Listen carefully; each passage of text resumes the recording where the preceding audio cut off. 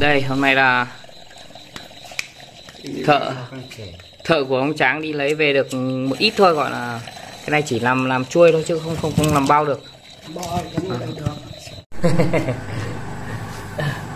Vâng thưa quý anh chị là hôm nay cháu này lên trên uh, chỗ ông tráng tranh thủ uh, đi qua lên uh, xem cái nhà em rua xem thợ làm xong chơi lại tiếp tục uh, lên để lấy dao về cho các bác chú nhưng mà mấy ngày hôm nay thì là bác tráng bác ấy là gia đình là có tang.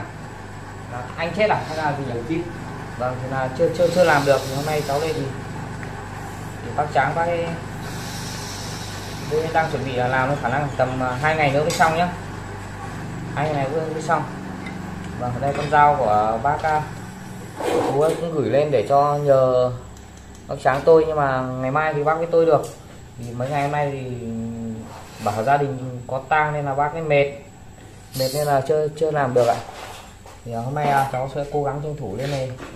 Chờ ông tráng làm mà xong được mấy cái thì cháu mang cháu gửi cháu luôn nhé thì thôi thông cảm cho thầy trò cháu thì thời gian này cháu đi học nhiều quá học học ngoài em bái.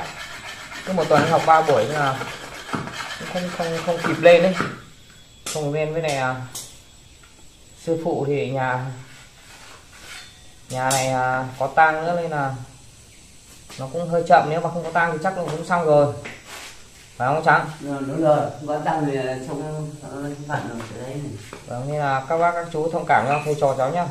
Nên cố gắng phải tầm uh, ông trắng bảo là bây giờ ông xong việc rồi chắc khoảng tầm 3 ba ngày nữa ông trắng ừ, ba ngày nữa không ba ngày nữa là xong. Cố gắng chịu ăn cho nó xong mẹ. Con này à, con này ông trắng đang làm là con à, con này là chưa tôi.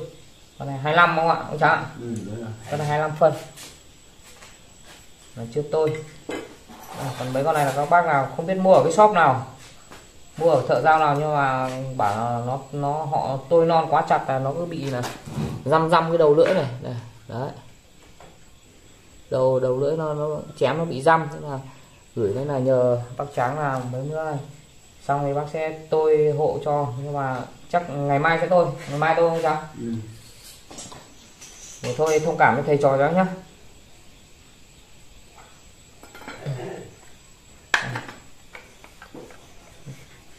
cái này là gỗ kháo đây.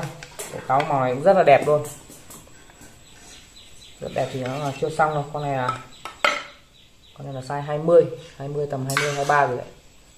Đấy mà các bác chú hôm vừa rồi nhờ thầy trò cháu làm thì,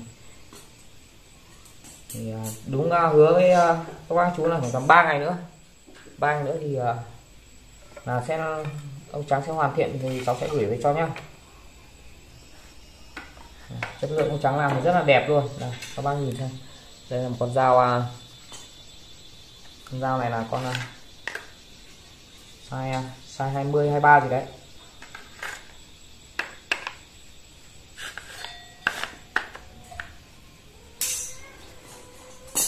Đây, con này là con này chỉ dùng đi chơi ra ngoại đi câu hoặc là chặt gà chặt vịt thôi chứ chặt cây to là không được đâu bởi nó nó nhẹ quá. Phải không dáng được con này nhẹ lắm. Phải con to một tí cơ. Con to tí được, như con như đây, như con à, con size 25 này thì chặt chém thoải mái luôn.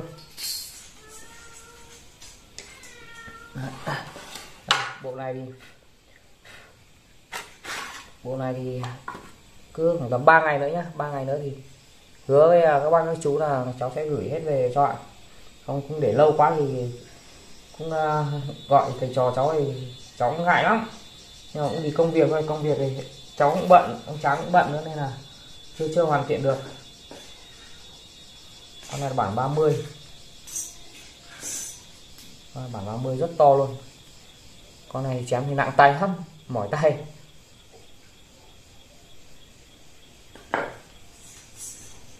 Cực đẹp luôn. Chuôi gỗ lim vàng chuôi này thì rất là khô rồi nên quý cô anh chị uh, cứ yên tâm.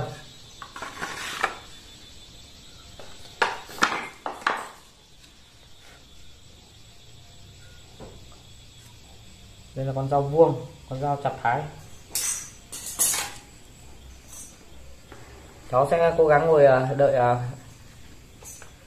một tầm uh, ba ngày nữa phải không cháu? Ừ, ba ngày nữa. Ba ngày nữa là xong thì xong được đến đâu cháu sẽ gửi về cho các bác các chú đấy nhá. Còn các bác chú nào chưa nhận được thì uh, cố gắng à, đợi một hai ngày nữa thì cháu sẽ cố gắng là lên là nhà.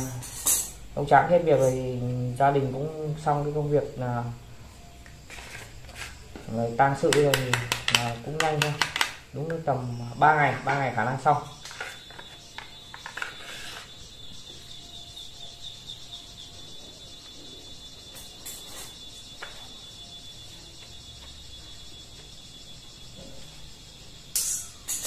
đây chỉ à, ở trên à, mấy cái bác thợ làm dao vùng cao thì hầu như là cái kỹ thuật làm cái nắp đít này là không ai biết làm nhá. Đấy chỉ trừ có sư phụ trắng ấy. Mới làm được cái nắp đít nó đẹp này. Đấy, rất là đẹp luôn. Đấy, mẫu mã dao cực đẹp. Đấy, không bao giờ rơi con dao này đấy, mở dao. Mở ra đi ra được.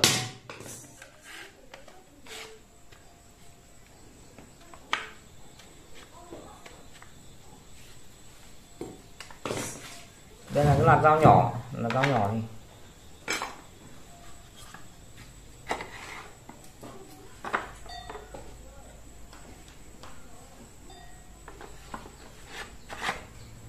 con này con bản cực lớn. Con này cầm thì chém thì chặt chém thì chặt ít thì là thích nhưng mà nếu mà để chém lâu quá thì mỏi tay lắm. Ừ, đúng rồi. đấy ví dụ như chú anh chị mang ra những cây to thì là chặt thì sướng đẹp sướng nhưng mà nếu mà dùng lâu giống như là cây con to này thì là, là rất là mỏi tay bởi vì nó nặng mà. Nó nặng chặt chém thì rất là đầm. Nhưng mà để làm lâu thì mỏi tay lắm. Con này thì chặt cái gì cũng được rồi riêng cái dòng to này. Không bao giờ sợ còn cái con này thì không không thể chặt được những cái to đâu chỉ chặt chém gà chém vịt thôi đi à, đi ra ngoại đi câu đi à, thì còn được chứ chặt chặt cái to thì cũng được nhưng mà nó nó nhẹ này thì nhẹ này chắc là không được nhìn. Đúng rồi chặt không không được nhanh. Nếu mà tính ra thì nó chỉ khoảng tầm này ở trong lòng bàn tay con tí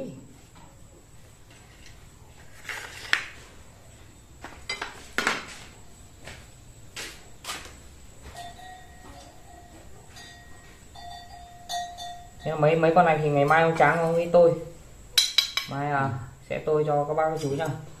Vâng đây con này không biết là thợ nào tôi thì cái chất thép này tốt đấy. Chất thép rất là tốt luôn có cả logo đây này. Họ làm có cả logo đây nhưng mà đây đây là cái logo này. nhưng mà không ăn thua.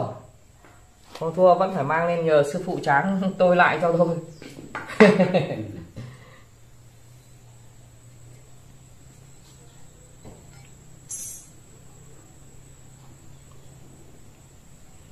vâng à, các bác chú mà ai mà cần à, một con dao của ông trắng thì cứ báo nhá.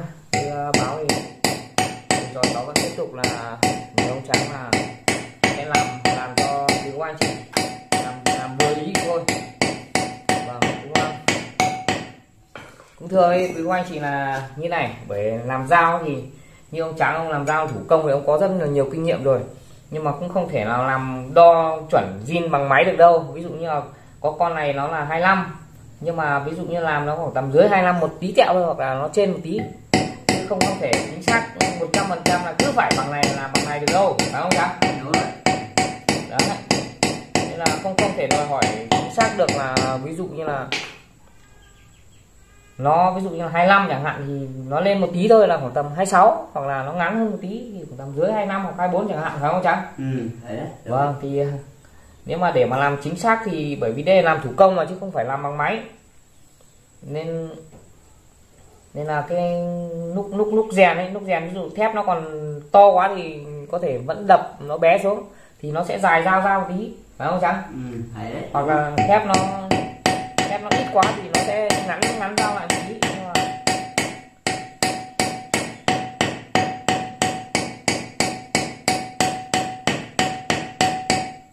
nói tóm lại là nó cũng không không dài quá mà nó cũng không ngắn quá đâu. Đấy như nếu mà quý cô bác anh chị cơ bản là phải làm zin mà gửi về xong là quý cô anh chị mà đo nó không đúng thì lại gửi lại thì cũng rất là mất công cho ông trắng ông làm. Nên là các bác mà đặt dao thì à, uh, để trong nó trước có nghĩa là cái quy quy cách này như vậy đấy cứ bảo cứ phải zin chuẩn một tí không được thì khó lắm Ừ.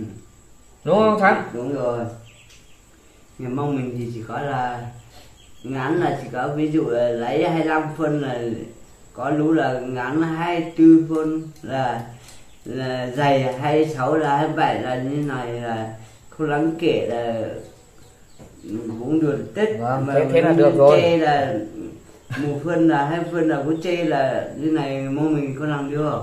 Bỏ cho các cô chỉ thế cái còn riêng là chất lượng thì chất lượng dao của ông trắng thì các bác biết rồi đấy. À, rất là sắc luôn. Và ông trắng thì ông ấy ông ấy là thợ cứng nên là ông làm rất là tỉ mỉ luôn. Nói chung là có trách nhiệm. Đấy nó sư phụ là cái nào không được thì phải làm bằng được thì thôi chứ không phải như những thợ khác là cứ làm thì nó thành thành này là kệ.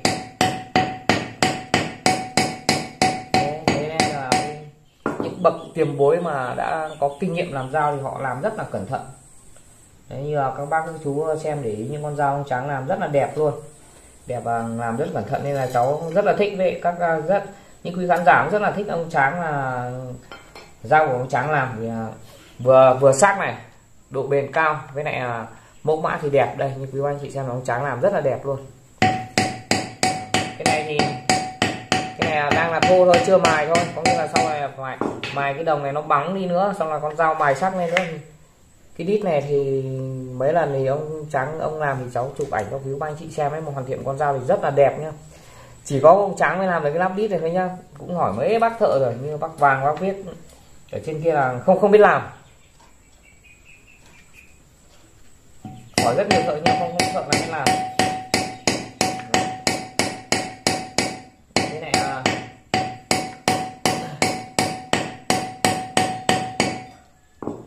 đây nó cũng là cái một cái kinh nghiệm cái bí quyết riêng của ừ, sư phụ tráng. Nên là mỗi lần sư phụ làm cái nắp đít này thì cháu không không thể là quay lên để cho các bác xem được. Ví dụ như là uh, lúc đấy thì họ nhìn thấy thì họ cũng sẽ lại là ăn cắp nghề giống học lại của ông tráng lúc đấy ai cũng biết làm thì cũng không được nó phải bản quyền riêng. Thế là các bác cứ bảo là thử ờ, thử quay quá trình ông trắng làm nắp đít thì thông cảm với cháu nha cháu không không không quay được. Đấy là để giữ nghề cho ông trắng phải không ông trắng ừ, phải đấy đúng. Bởi vì nếu mà quá trình làm cái này thì nó cũng rất là kỳ công luôn. Bây giờ ai cũng xem ai cũng có thợ mà ai cũng xem thì xong lại à, đi à, nhìn video xong là đưa cho thợ họ làm thì lúc đấy thì mất mất cái bản quyền riêng của ông trắng đi. Thế là các bác à, chú là rất hết sức thông cảm nhé thì mỗi một người thợ làm dao thì thầy trò cháu lên là cũng gọi là một là để giữ lại là cái, cái bí quyết riêng của từng người thợ. Đấy, khi nào mà ông trắng ông già ông không làm được nữa thì lúc đấy ông bảo là muốn truyền thì lúc đấy thì cháu mới dám quay với cho quý cô anh chị xem. Còn bây giờ thì chưa chưa chưa, chưa xem được. Ừ, phải không trắng ừ, phải đấy đúng.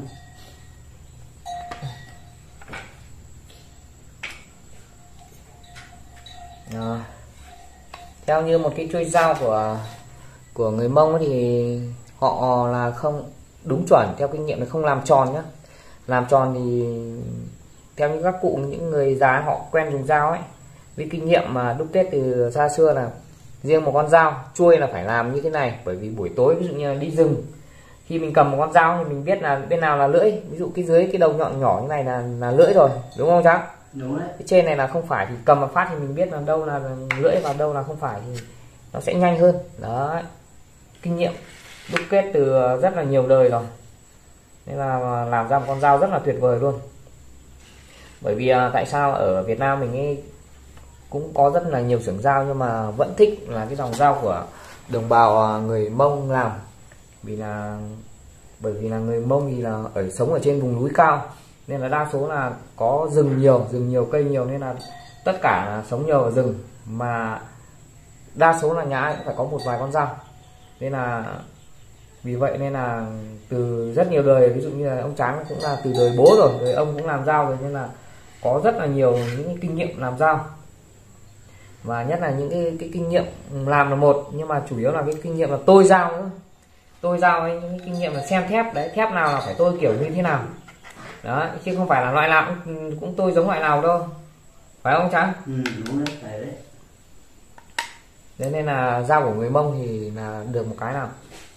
Vừa bền đẹp và nó đa năng có thể dùng được tất cả mọi cái. Có thể thái được này chặt được này.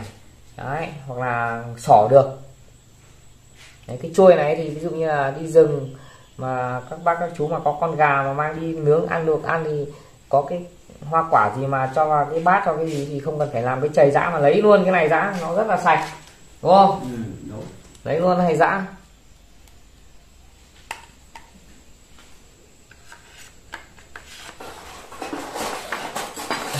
nên là dao những người vùng miền xuôi thì thường thường là họ không làm nhọn mà họ chỉ làm đầu bằng thôi nên là nó không có không không không thông dụng này ví dụ như là thường thường là người mông như, như người mông bây giờ thì cũng có nhiều máy móc rồi nhưng ngày xưa là kể cả từ cái cuốc cái xẻng thì, uh, những cái đầu dạ lưỡi dao này cái này ấy, phải không cha ừ. cái này có thể là, mài cái xẻng được đấy đúng không ừ, mày cái chuyện này Đó. cái cua cán cua này thì lấy cái đầu này để Ủa, này để, để kia. mài luôn đó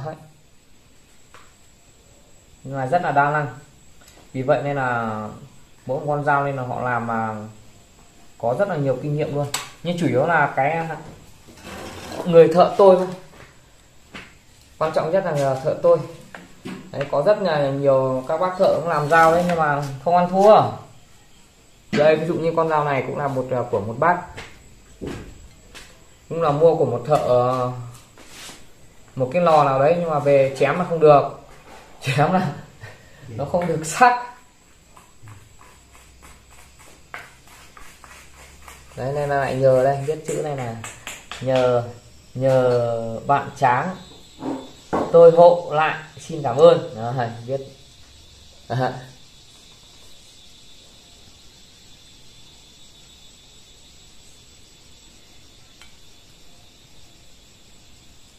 rất là sắc luôn chất liệu gỗ thì à, đa số là, như quý của anh chị biết đấy thì mỗi lần đặt dao cho ông trắng thì cháu không bao giờ làm những cái gỗ linh tinh nhá, toàn là gỗ quý hết. Đấy, ví dụ cây này là cây kháo này. Cây kháo như là, đây là cây à, chuôi này là chuôi chuôi đa số phải là chuôi lim vang đỏ. Đấy. Và một dòng nữa, đó chính là cái cây à, có nghĩa là có ba màu đấy, nhưng mà bây giờ nó cũng hiếm lắm nhá. Mới hôm nữa thì làm xong cái đợt giao này thì ông tráng mới bảo là sẽ đi tìm bảo có còn một cây nữa thì còn một cây à, cây lim đỏ đấy thì sẽ cố gắng là ông tráng sẽ đi lấy về. Thì lúc đấy là quý bác anh chị nào mà đặt thì à, cứ liên hệ à, số điện thoại cháu để trên màn hình nhá. Với zalo thầy trò cháu thì cháu sẽ bảo ông tráng làm cho.